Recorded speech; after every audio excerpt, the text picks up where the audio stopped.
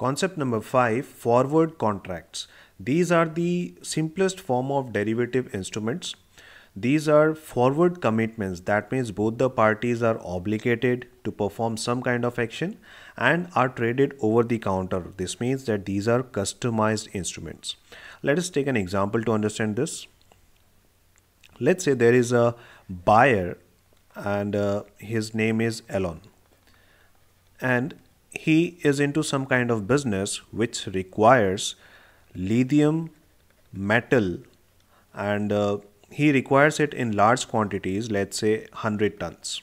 And he'll be needing this one year down the line not today. Let us draw a timeline here. Let's say the price of lithium today is $30 per kg so, what is the concern of Mr. Elon? He is concerned that the price of lithium is rising at a very fast pace, and by the time he will need lithium, the prices might shoot up to as high as, high as $40. So, in order to take some protection against rising prices, which is also called hedging, in order to hedge the risk of rising prices, Mr. Elon can approach a seller. He is the seller who deals in lithium and tries to negotiate some price with him. So let's say they negotiate it for 35. Okay. Now you can argue that why the seller will agree for $35 because he is of this opinion that in one year the prices will not be above 35 he has a different opinion okay? So they can now no one knows what is actually going to happen at the end of year 1 right? So they have entered into a contract on this day. This is year 0 today. And as on today there is no form of payment from the buyer to the seller. Coming to one year later what happens? Let's say the prices of lithium has actually risen to $40 in that case no matter what is the price in the market mr elon has to pay $35 per kg and he can buy this entire quantity at this price only. Okay? So he will make the payment and receive the goods from the seller.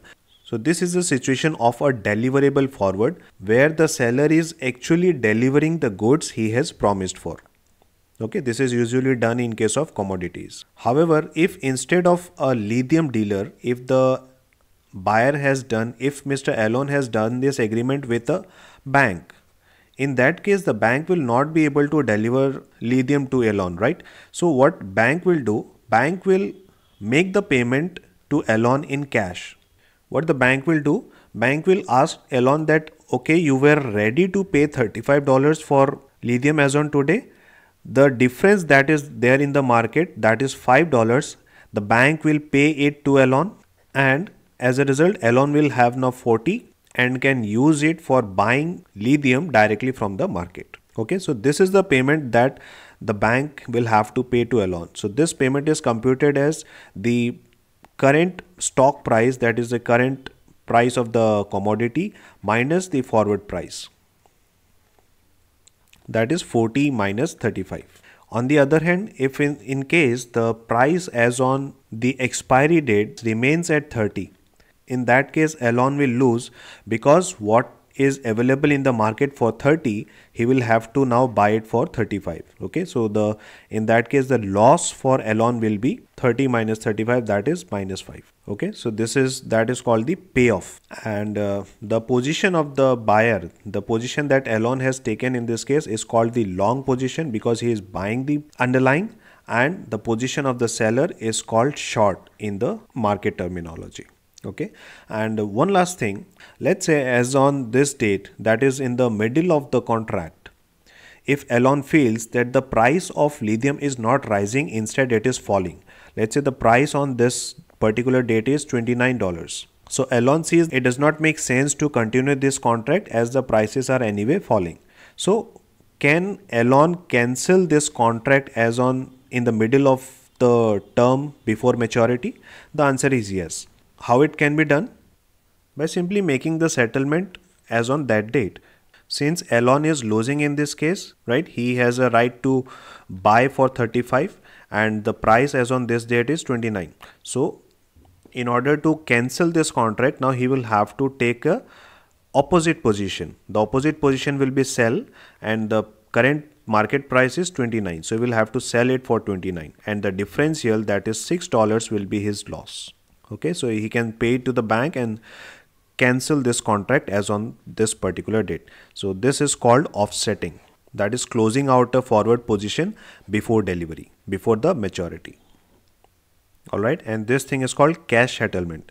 Whenever the transactions are settled in cash instead of delivery it is called non-deliverable forward or cash settled or contracts for differences so in case of commodities and gold and stocks there can be deliverable as well as non-deliverable forwards as per the terms of the contract.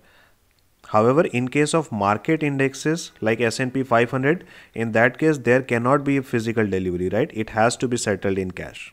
All right? So that's it for forward contracts.